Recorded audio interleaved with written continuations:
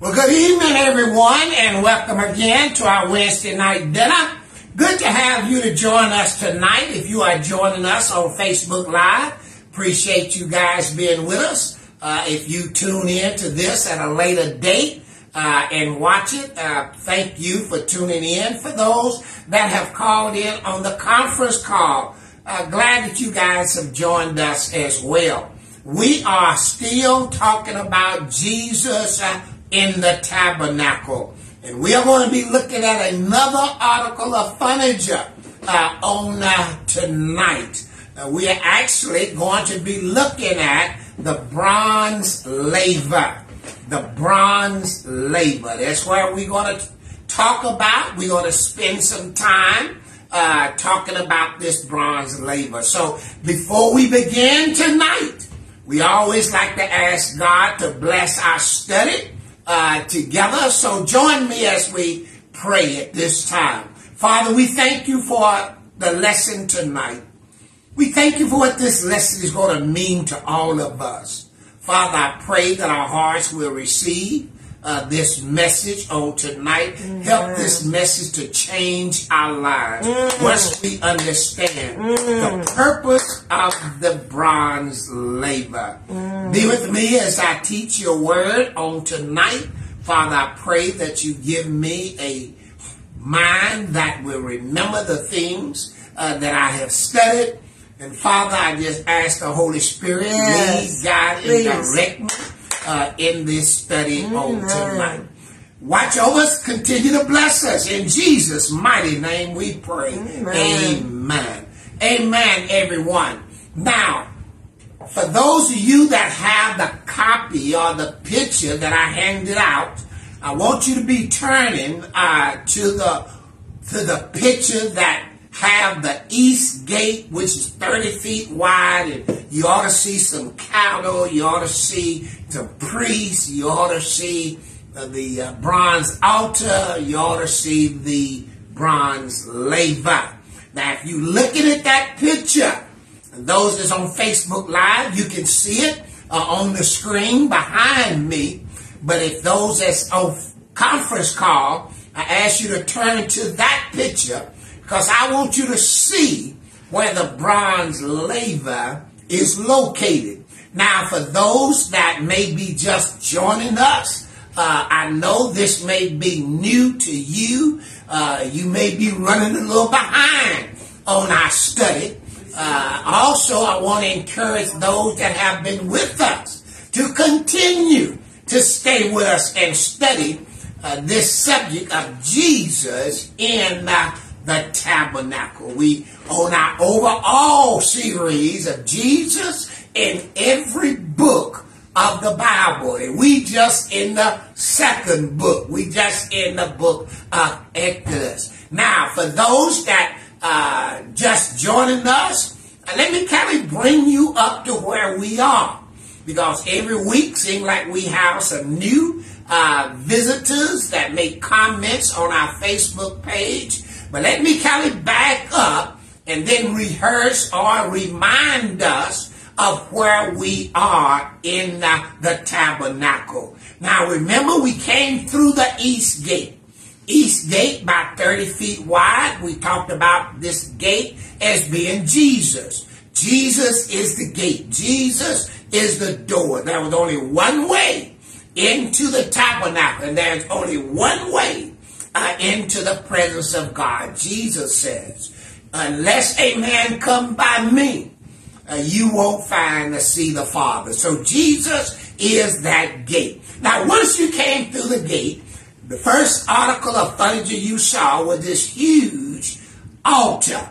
It was called the bronze altar.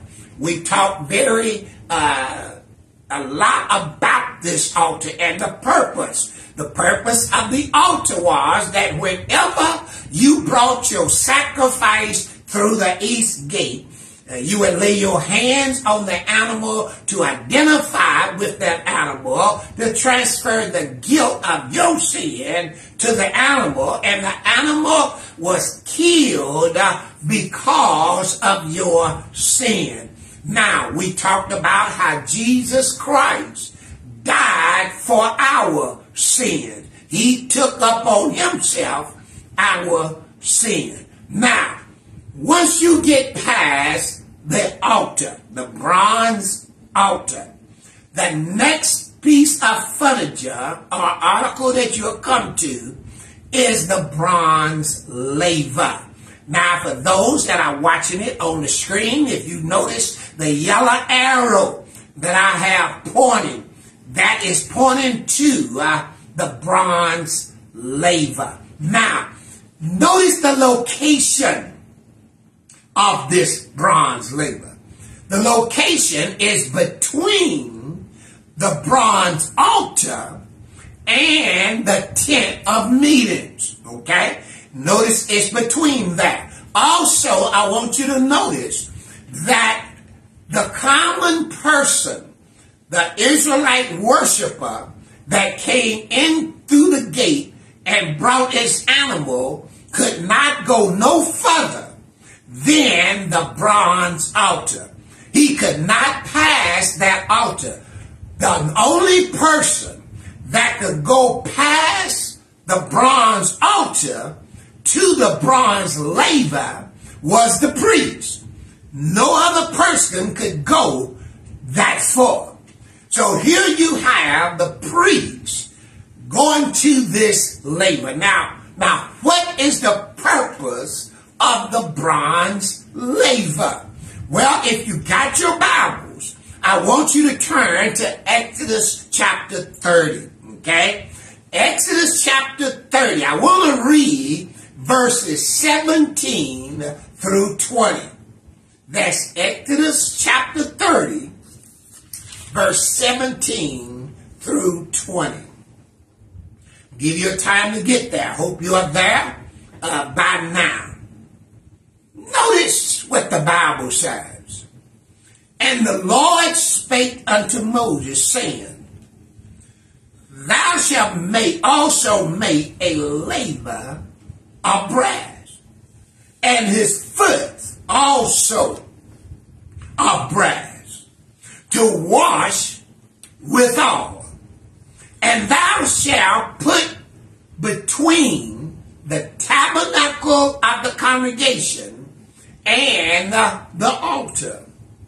And thou shalt put water therein.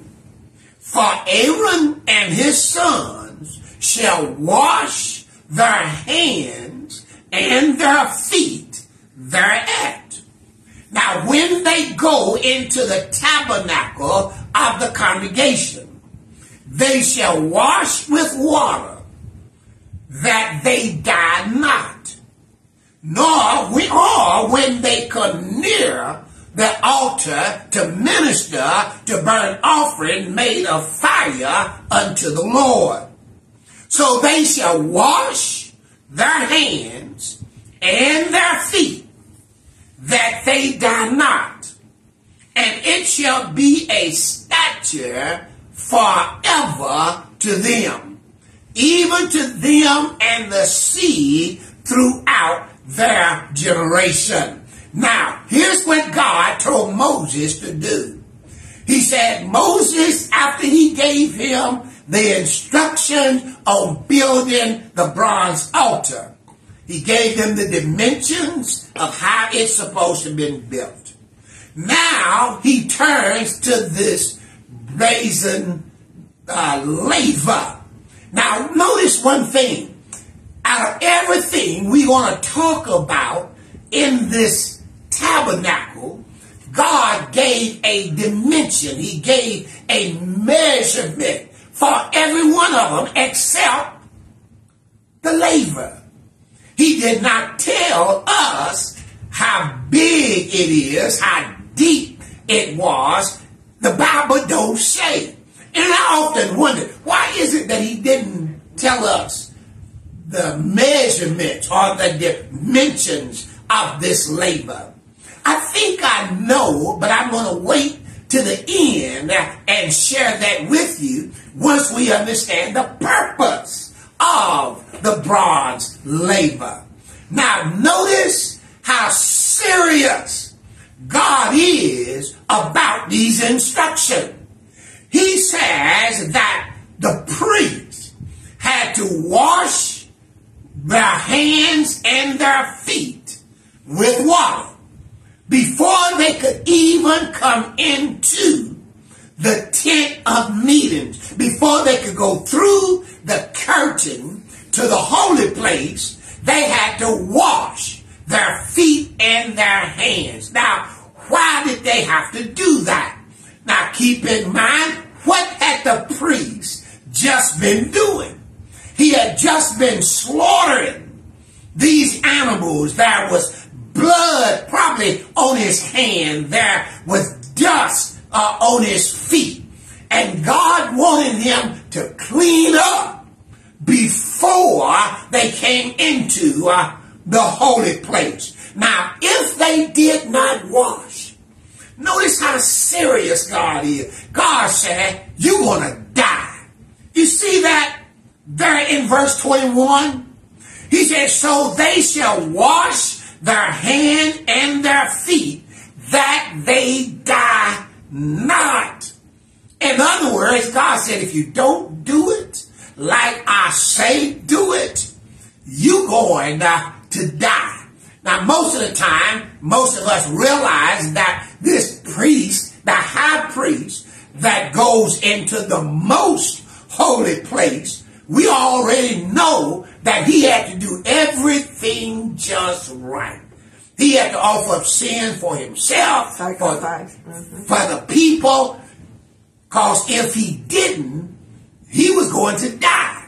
And we can understand that from the most holy, but notice this, before he could even get into the tent of meetings, before he could get into the holy place, before the most holy or the holies of holy, he had to make sure he washed his hand and feet because if he did not, he was going to die. He said, why in the world would God be so specific? God said, this is the way it is. I'm a holy God and I cannot be approached by dirt, by filth. I cannot be approached by that which is unclean. Notice when we talked about the tent that was around the, uh, the, the curtain that was around the ark, it was made of what? White linen. In other words, that shows us the holiness of God. So God is a holy God, and he cannot be approached by a people that is filthy, dirty. God wants us to clean up ourselves up. Now, what is the purpose of this bronze laver? The purpose was for the priest to wash his hands and wash his dusty feet before he even enters the tent. Now, interesting thing about this bronze laver is this. If you flip over to chapter 29 and verse number 4, you will find out that the priest had to be washed. His whole body had to be washed. Now, in Exodus 30, we just talking about washing his hands and feet. But before the priest could either enter the tabernacle area the Bible says he had first had to take a bath. He had to wash his whole body. Now, how do I know that? In Exodus 29 and verse 4, Aaron and his sons, thou shalt bring up to the door of the tabernacle of the congregation, and thou shalt wash them with water. Also in Exodus 40, and verse number 12 said the same thing. And thou shalt bring Aaron and his son to the door of the tabernacle of the congregation and wash them with water. But even in the book of Leviticus, chapter 8 and verse number 6, it said Moses said that he brought Aaron and his son and washed them with water. Now, it is interesting how God set this up. Because all of this is going to be pointing to Jesus. All of it's going to be pointing up to us in the New Testament because water is so important in cleansing us. So here you have the priest had to wash his whole body first. Once he went in and he started cutting the throats of the animals, his hand became bloody, feet became dusty. Now, before he go into the tent, he got to wash his hands in uh, this water in the brazen laver. Let me share something else interesting about this laver. If you flip over to Exodus chapter 38 and verse number 8, notice what he says. And he made the laver of brass and the foot of it of brass of the loving, of the looking glasses of the women assembling, which assemble at the door of the tabernacle of the congregation. Now notice what he says. He says, how did they make this brazen laver, There were some women who had some mirrors. One version says mirrors. Another one says uh, polished bronze. Because see, they didn't have mirrors like you and I have mirrors today, but they would polish this bronze. And, and as they would polish it, it would shine and they could see their reflection in it.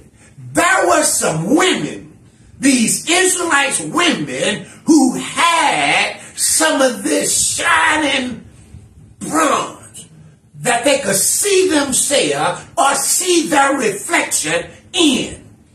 They were ministering at the tabernacle, at the entrance of the tabernacle. Now you see that? God have always used women. These women had a specific duty. They had a specific job that they had to do. But they had these mirrors. King James says looking glasses. But they had them. Where did they get them from? Remember where they got all the gold and all the silver? Egypt. They got it from Egypt. They must have got it from the women of Egypt. So here they are in the wilderness with this bronze mirrors. They donated their mirrors to Moses in order for them to build uh, this brazen uh, laver. Now, why was that? It is said that when the priest would look into the water, he could see a reflection of himself. He could see the dirt on him. He could see maybe the filth. He could see the uncleanness on him. It reflected out of that water. That is so interesting because we're going to find the purpose of the laver, not only just for the priest to wash his hand and feet, but there is another reason for this bronze laver. I come up with two. There's probably more. But I think the purpose of this laver was, first of all, was to reveal. It reveals something about the priest himself. But then it also provides. It provided cleansing for him as he washed in this laver.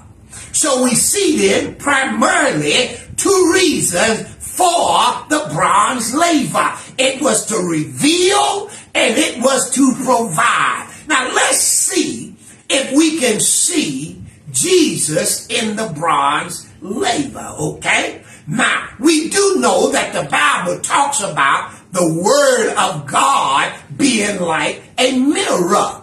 By fact, in James chapter 1, verses 23 through verse 25, James said, For if any be a hearer of the Word and not a doer, he is likened unto a man beholding his natural face in a glass. One version said, in a mirror. And he beholdeth himself, but he goeth his way, and straightway he forgetteth what manner of man he was.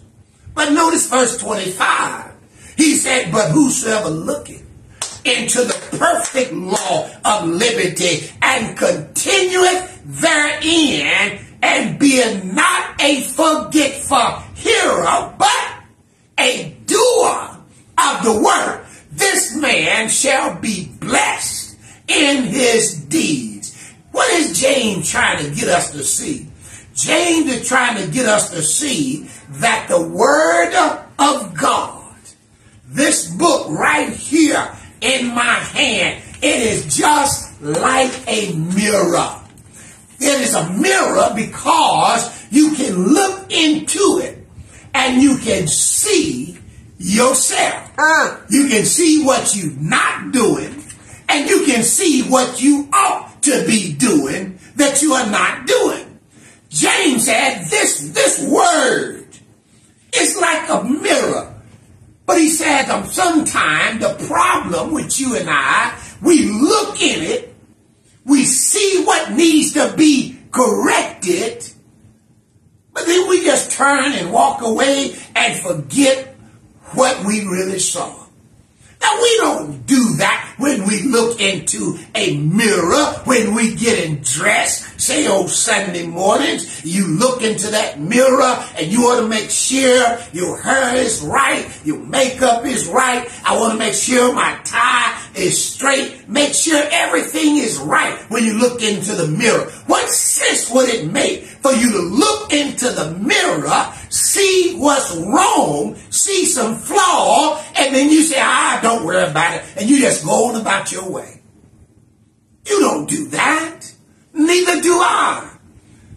But James says, there is a time that you may look into God's mirror and you see what you need to be doing, but you seem like you forget as soon as you read it. He says, it's a mirror. You see yourself. Can't we see maybe the bronze laver that the priest could see the reflection of himself in that water? Here we see ourselves in the word of God.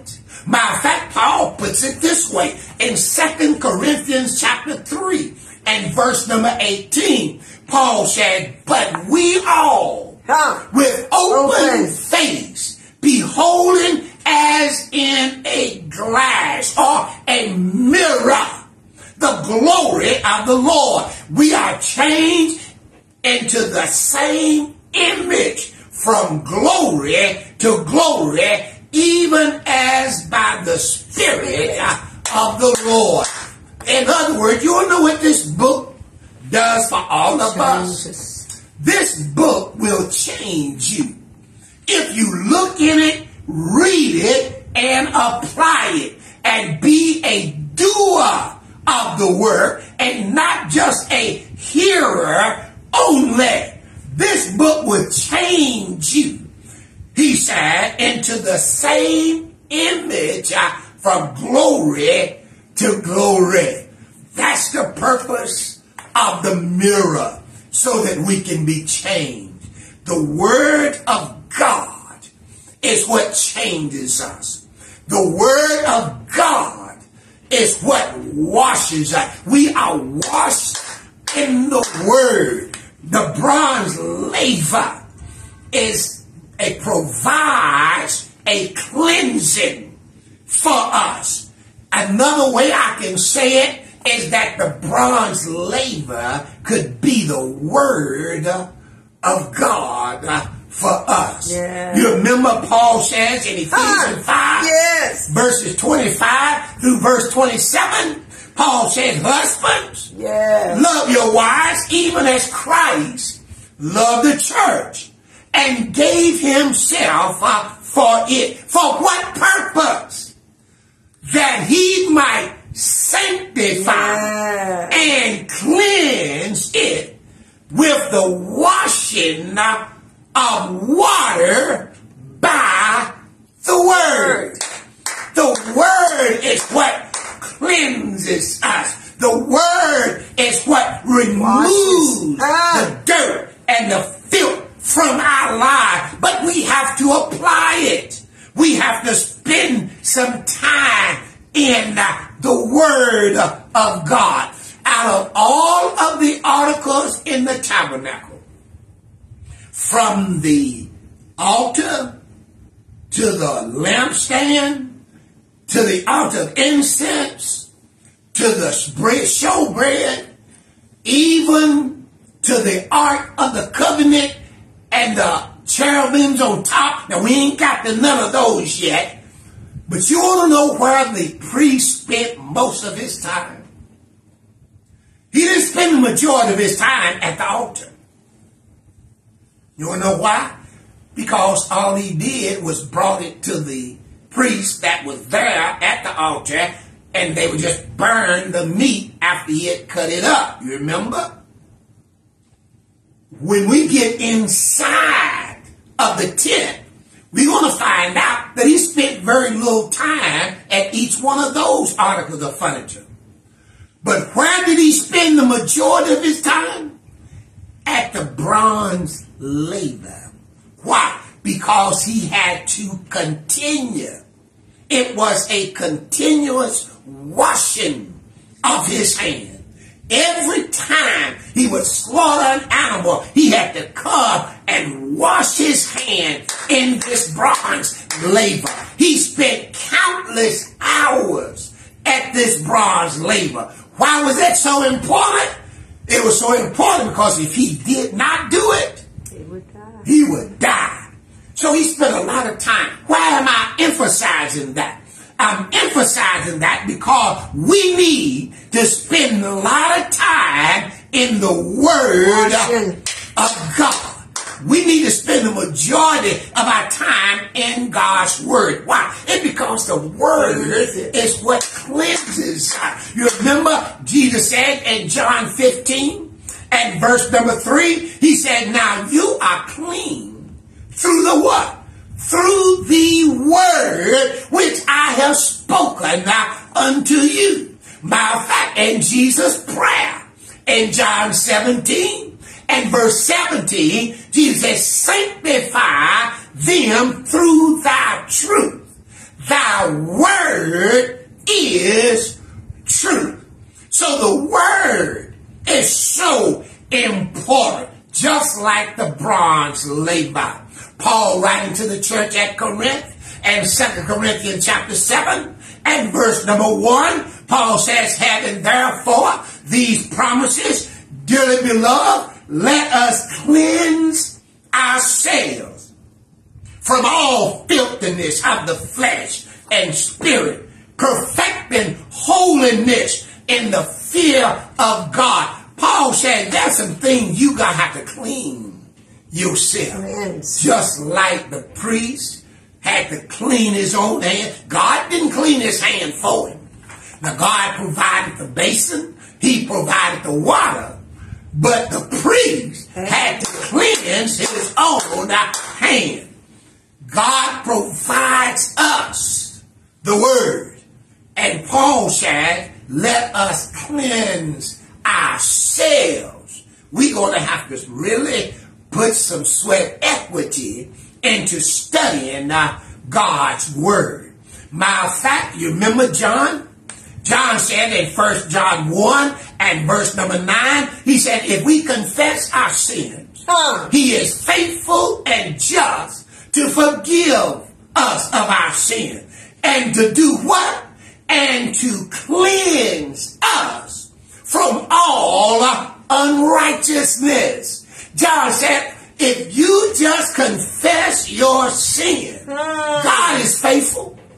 He's just. And guess what he'll do? He'll cleanse us from all unrighteousness. That word confess is a very interesting word. Matter of fact, that word confess actually comes from the Greek word homologeo, which is actually a compound word, uh, huno and logos, which literally means to say the same uh, thing as another. It means to agree with or to say the same thing about your sin that God says. Now that's what confess or confession really means. I understand how God feels about this. How do I understand how God feels? Guess where I find it at? I find it in the Word. So when I see in the Word how God feels about a thing, Ah. then I'm going to have to say the same thing God says about my sin. Just go back to the priest. What did God say for him to do when he came uh, before he came uh, into the tent of meetings? God says you got to wash. Yeah.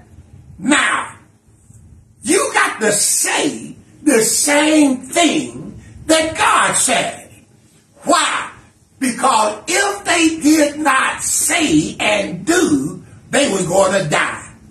When God says a certain thing about our sin, we're going to have to say the same thing that God says about our sin. Now, if we do that, and when we do that, God is faithful and He is just To forgive. to forgive us of our sin. And cleanse you. Can't, you can't think you're going to fool God.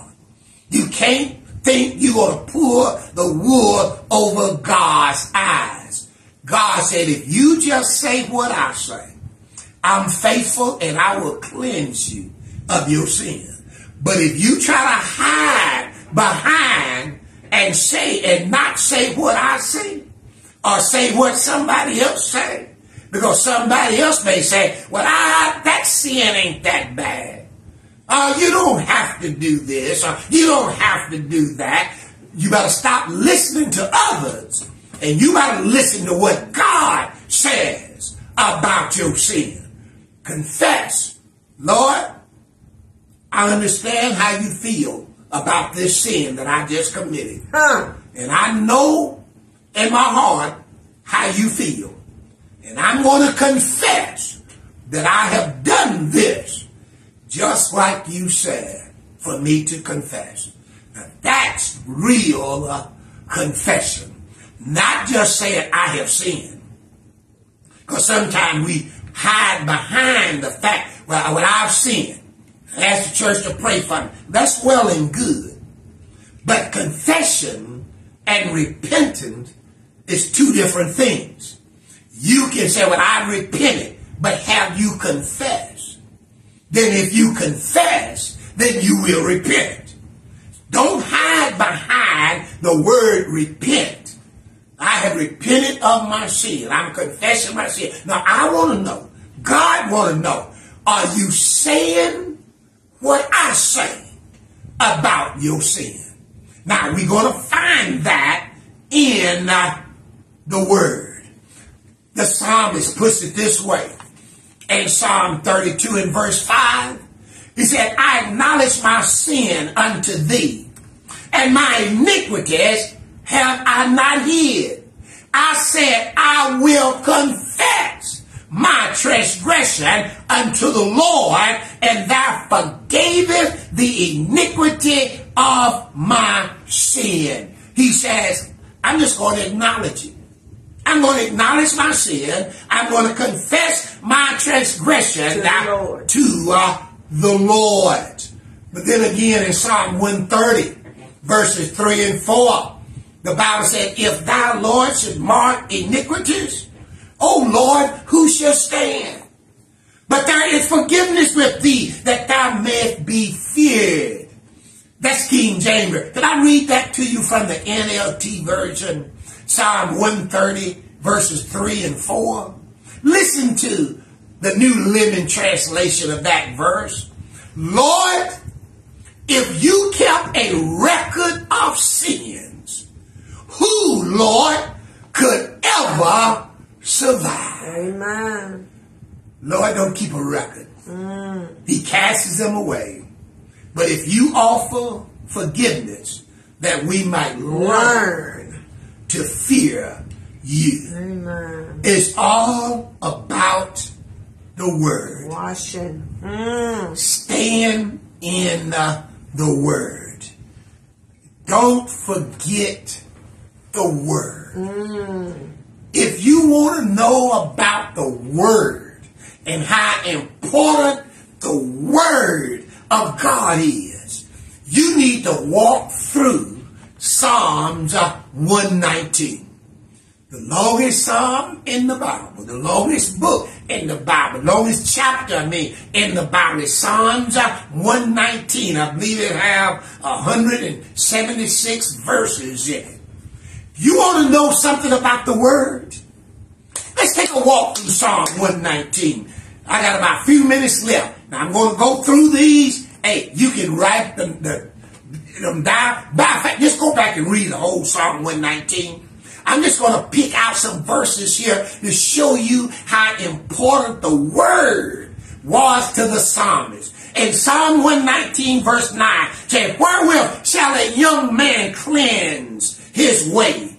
By taking heed thereto according to thy word. Then in verse 11, he said, Thy word have I hid in my heart that I might not sin against thee. Verse 16, I will delight myself in thy statutes. I will not forget thy word. Verse 17, deal bountifully with thy servant that I may live and keep thy word. Verse 25, my soul cleaveth unto the dust quicken thou me according to thy word. Verse number 28. My soul melteth for heaviness. Strengthen thou me according to thy word. Verse 38 establish thy word unto thy servant who is devoted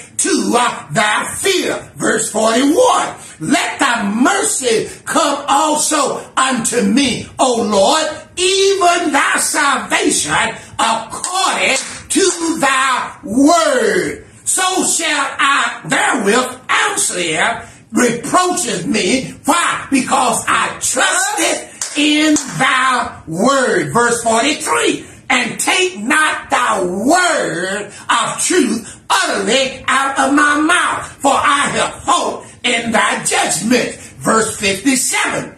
Thou art my portion, O Lord.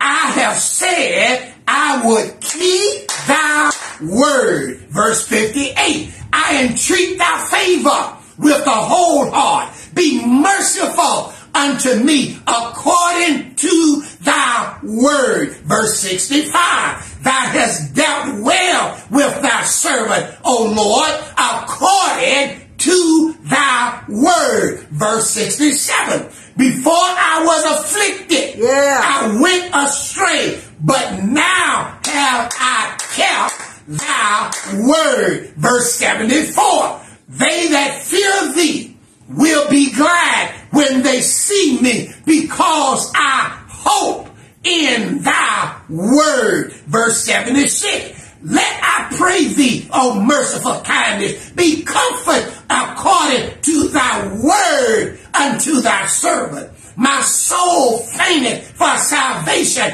but I hope in thy word. Verse 82. My eyes fail for the word, saying, When will thou comfort me? Verse 97. Oh, how I love thy word. It is my meditation all day. Verse 101.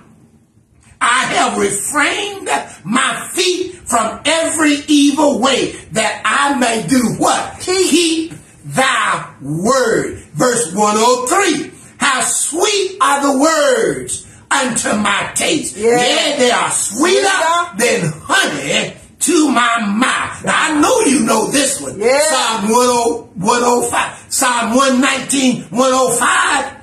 Thy word is a lamp unto my feet and a light unto my path. Verse 107. I am afflicted very much. Quicken me, O Lord, according to thy word. Verse 109. My soul is continually in my hand, yet do I not forget thy word. Verse 113. I hate vain thoughts but thy word do I love. Verse 114, thou art my hiding place and my shield. I hope in thy word. Verse 116, uphold me according to thy word that I may live and let me not be ashamed and hope. My eyes fail for salvation for thy word of thy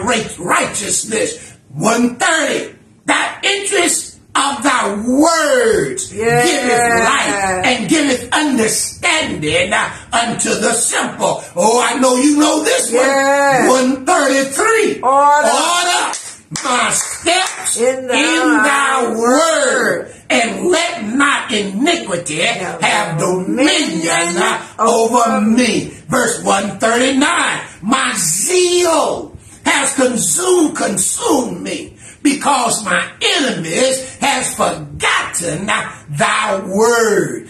140. Thy word is very pure.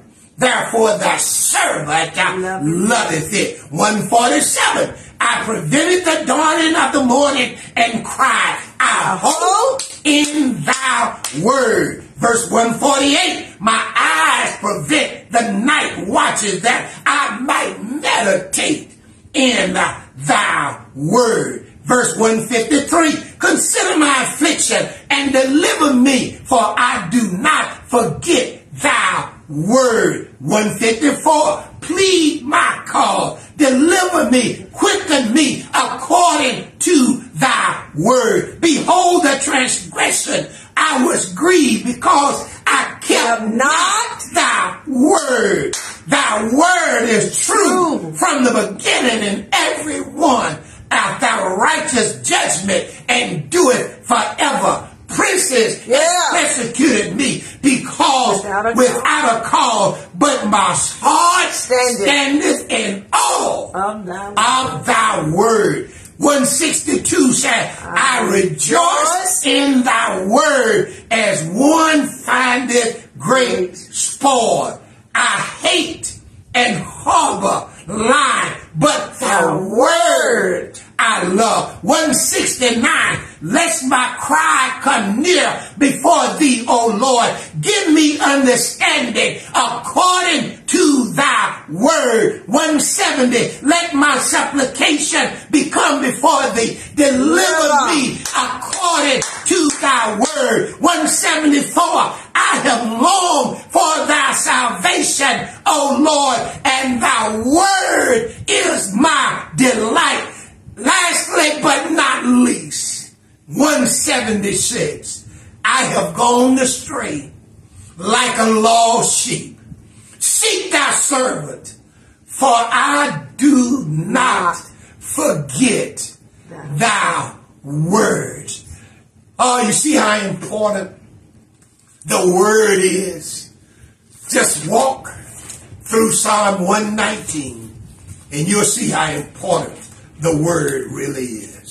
I got one minute left, 60 seconds. Let me wrap this up by kind of giving you a recap of this bronze laver. Okay? The bronze laver was for the purpose of the priest washing his hand, washing his feet. It was made out of the mirrors that the women uh, brought from Egypt. It had a reflection in it so he could see himself as he washed his hand.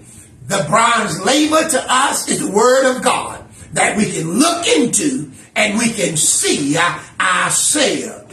We pray that as we look into the word, that we would make the necessary changes that need uh, to be made. Now, next week, okay, we have come through the gate, we have come over the altar, we have now come through the bronze laver.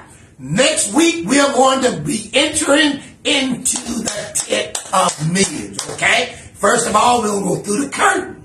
We're going to talk about that curtain. Then we're going to go inside of the holy place. There are three articles of furniture in there. We're going to look at all three of them and see how that relates to Jesus Christ. Thank you guys for tuning in. Amen. I thank you that uh, you are listening. Stay with Hope us. you are being encouraged because once we get through this, you're going to see how important it is for you to read and study the Old Testament. For Jesus Jesus. is all the way through the Bible. Father, we thank you for our lesson tonight. We thank you for the bronze laver. Father, we thank you uh, for the time we have spent tonight. Father, we thank you that, that the word is so important to us. We thank you for giving us the word, which is a lamp unto our feet and a light along our pathway. Help us to look into it, make the necessary changes, for we ask it in the mighty name of Jesus. We pray. Amen. Good night, everyone.